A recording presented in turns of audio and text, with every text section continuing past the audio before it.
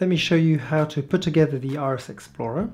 So these are the different parts you've got. So you've got the Iris Explorer here, which you can see here. You've got the 60mm Canon lens, the macro extension tubes, and then you've got the camera.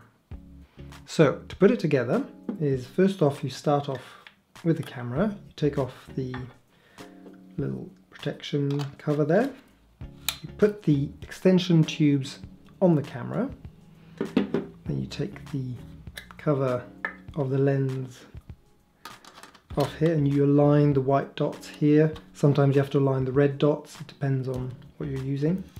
There you go. So that's that.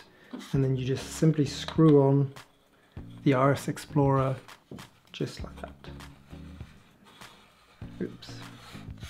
That right. Oops, there we go. Now it's important to get the battery part or the top part of the Iris Explorer here completely towards the top because the lights on the front here have to be exactly at 3 o'clock and at 9 o'clock. So completely horizontal. So there you have it.